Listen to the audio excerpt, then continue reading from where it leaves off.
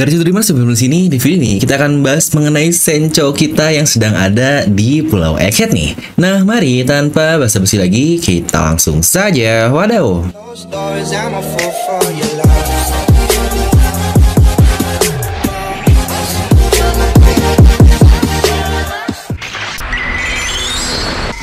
Di mana dikatakan insiden Egghead yang terkenal itu akan mengguncang dunia di keesokan harinya yang berarti dampak dari apa pun yang terjadi di Pulau Egghead ini dengan buat karakter utama kita Bajak Laut Topi yang juga terlibat di pulau tersebut akan benar-benar memiliki peran yang sangat besar ke perkembangan cerita di masa depan. Lalu kira-kira apakah dampak dari semua hal itu? Nah jadi pastikan buat kalian yang belum subscribe bantu klik tombol subscribe-nya dan juga tonton video sampai habis agar tidak ada informasi yang miss dan juga setengah-setengah karena One Piece itu sudah masuk akal tapi akal bisa masuk. Jadi sebelum mulai siapkan kopi, jangan lupa besar, ambil posisi PW dan let's go.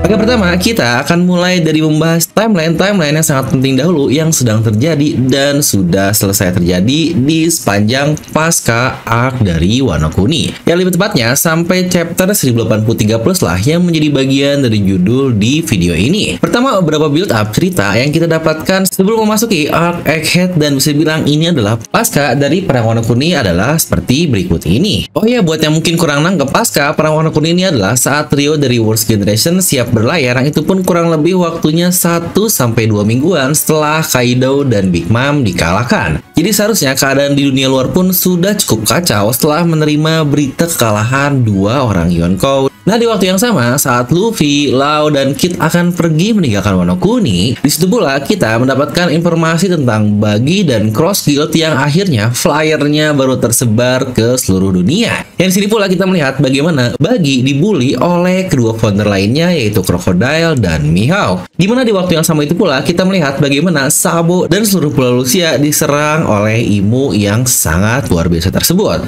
Dan terakhir adalah Garp yang dikatakan masih berada di markas besar Angkatan Laut seperti perkataan Hina di chapter 1082 kemarin. Lalu beberapa hari setelahnya, kemungkinan hanya 1-2 hari sajalah. Dari Wano Kuni sampai masuk ke waktu saat ini atau Luffy sampai ke Pulau Egghead, pun narator memberikan langsung clue dengan tulisan A Days Later yang sebenarnya ini bisa saja langsung keesokan harinya sih. Tetapi kurang lebih inilah real time yang sedang terjadi bersamaan di berbagai sisi.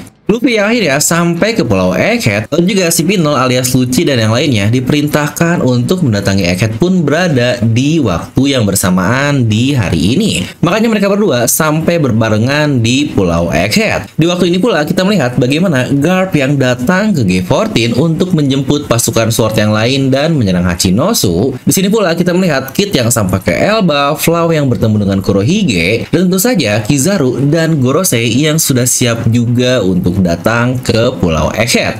Ingat dari awal Luffy di lautan Egghead sampai semua insiden yang terjadi sekarang seperti bagaimana Dom dihancurkan, adanya pengkhianat itu bisa dibilang sudah memakan waktu berapa jam saja. Nah, dalam beberapa jam inilah ternyata berbagai insiden lain pun ikut bersamaan terjadi.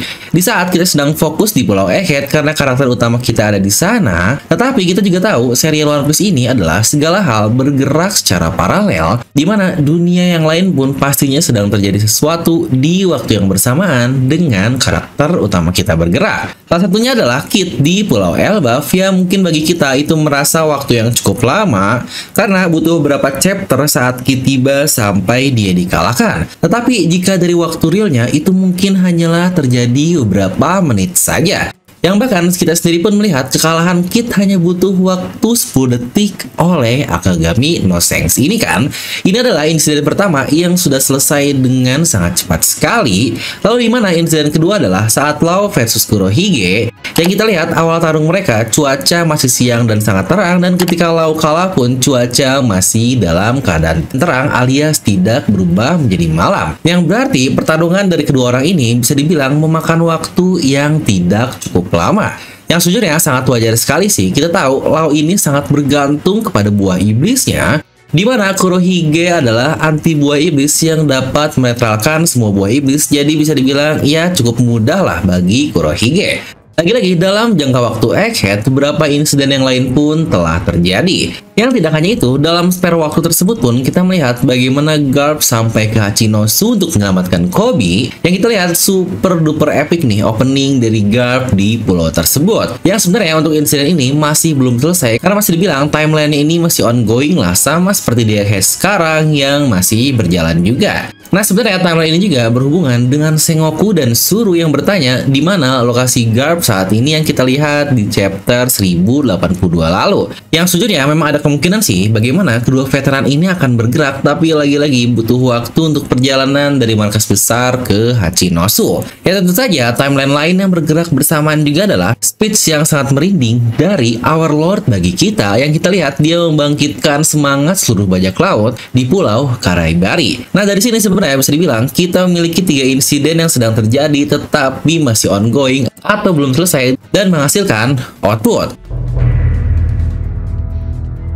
Pertama tentu saja output dari penyerangan Garp ke markas besar Yonkou yang hasilnya kita masih belum tahu nih. Apakah akan munculnya berita baru di mana markas Yonkou dihancurkan oleh pahlawan angkatan laut? Yang ini pun bisa saja terjadi karena perlu diingat ya, Kurohige atau sang Yonkou sendiri butuh waktu untuk sampai ke markas sendiri karena sebelumnya bertarung melawan Lao. Di mana spare itu juga sebenarnya bisa dijadikan bantuan bagi Suru dan Sengoku untuk tiba ke Hachinosu, tapi lagi-lagi di sini kita masih belum tahu. Atau bahkan worst case-nya dari sisi kita adalah sang pahlawan angkatan laut berhasil dikalahkan oleh komandan-komandan Yonkou yang ada di sana. Yang sejujurnya ini sangat epic dan plotnya pasti akan sangat menarik. Kalau tentu saja yang nama jawaban itu tidak hanya 0 dan 1 saja, tidak hanya yes dan no saja, pasti masih ada beberapa opsi lain. Di mana mungkin untuk opsi ketiga dari hal ini adalah sesuai tujuan Garp datang ke sana, dia hanya sampai untuk menyelamatkan Kobe dan jika Kobe sudah selamat maka mereka pun tinggal pergi saja. Ya kurang lebih case-nya sama lah seperti Luffy yang menyelamatkan Sanji di negeri Yonkou yaitu Cake Island dari Big Mom. Di situ Luffy hanya menyelamatkan Sanji tetapi berhasil mengalahkan satu komandannya. Apakah di sini mungkin Garp juga akan melakukan hal yang sama? Yang kedua adalah tentu saja yang paling baru dan itu tentang Our Lord kita. Ingat bagi dia mendengar berita terkait pergerakan Shanks yang pastinya berita tentang Shanks versus Kid ini sudah menyebar sangat cepat di Underworld. Di sini bagi pun akhirnya sangat bersemangat dan bahkan bilang ke semua grupnya, sudah saatnya membangkitkan semangat besar bajak laut saat kita mengklaim One Piece. Ya tentu saja output dari hal ini adalah akhirnya satu Yonko terakhir pun mulai bergerak dan tidak hanya diam saja di Karaibari, tapi pastinya akan mulai berlayar. Apakah Krokodil dan Mihawk akan diam saja dan tidak melawan apa yang Bagi lakukan? Yang sejujurnya saya pun tidak cukup yakin sih. Di mana pertama seluruh kru atau bawahan dari Bagi mereka ini benar-benar memuja Bagi sebagai hal yang luar biasa. Jadi dia pastinya akan mengikuti Bagi ke mana pun dia berada. Walaupun krokodil dan Mihawk ini sangat kuat, tetapi tentu saja mereka akan kerepotan jika harus melawan bawahan lainnya yang isinya level 1 sampai 5 Impel Down tidak tahu nih jika ada level 6 juga. Karena ingat, di Marineford saja, Shirohige bilang cukup kerepotan jika harus melawan bawahan dari bagi ini. Ya apalagi untuk Crocodile dan Mihawk kan, pasti lebih baik mereka akan mengikutinya daripada harus melawan semua bawahan bagi. Serta jangan lupa juga impian terdalam dari Crocodile adalah dia ingin menjadi seorang raja bajak laut yang sama seperti bagi katakan di chapter 1082. Dan Mihawk selaku pendekar pedang terhebat adalah gelar yang bisa dibilang sangat tinggi lah seperti gelar Raja Bajak Laut. Jadi ya sebenarnya mereka semua ini memiliki hasrat terdalam untuk bergerak dan buat nama bagi mereka sendiri. Atau membuat ketenaran untuk namanya sendiri nih. Ya seperti clue di chapter 1082 yang kita lihat kemarin saat bilang mereka hanya mengincar wealth dan power saja, di situ pun bagi sangat kesal dan menimpal. Kenapa? Kita dapatkan semua harta yaitu seperti perkataan terakhir Roger, wealth, fame, and power. Kenapa tidak kita dapatkan ketenaran juga selain kita hanya mendapatkan kekayaan dan kekuasaan saja? Yang sejujurnya inilah hal yang sangat-sangat epic sekali yang bagi katakan. Dan yang ketiga adalah tentu saja output dari karakter utama kita yaitu di Pulau Egghead. Yang seharusnya ini akan menjadi output paling terakhir sih mengingat karakter utama yang bakal berlanjut terus.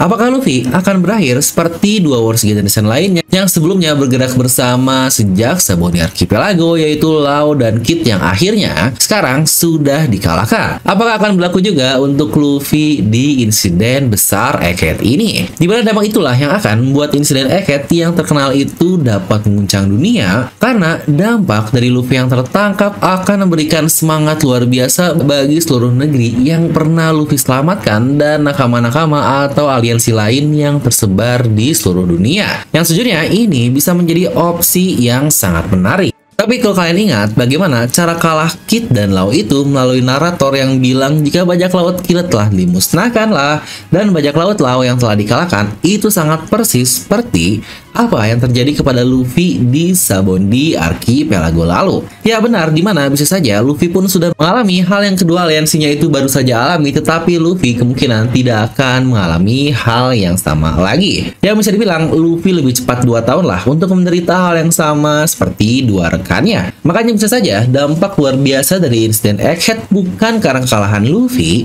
tetapi sebaliknya yaitu kemenangan Luffy entah atas Admiral atau bahkan Gorosei. Di mana sebenarnya bahasan lengkap alternatif lainnya sudah pernah saya bahas di satu video ini. Dan jangan lupa juga masih ada dampak lain yang terjadi di waktu yang sama yaitu berita dari Sabo kepada Dragon dan Ivankov yang kita lihat di chapter 1082. Walau beritanya mungkin tidak akan tersebar luas seperti hal yang lainnya karena untuk Revolutionary Army ini bisa dibilang lebih rahasia lah. Tetapi dampaknya ke kita para audiens pasti akan sangat besar. Yang sebenarnya timeline yang menurut saya akan bersatu lagi adalah Marco yang sampai ke Pulau Sphinx dan bertemu Bakin.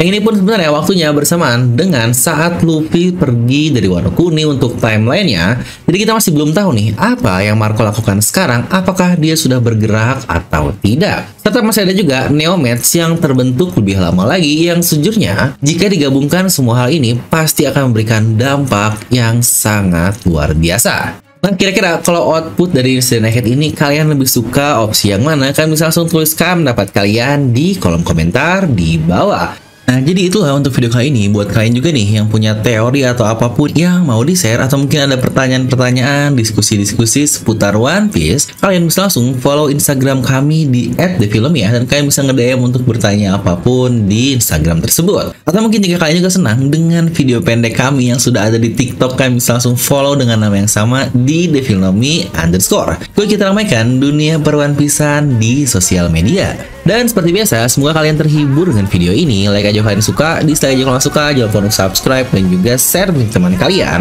Gue udah film pamit, and I'll see you guys next time.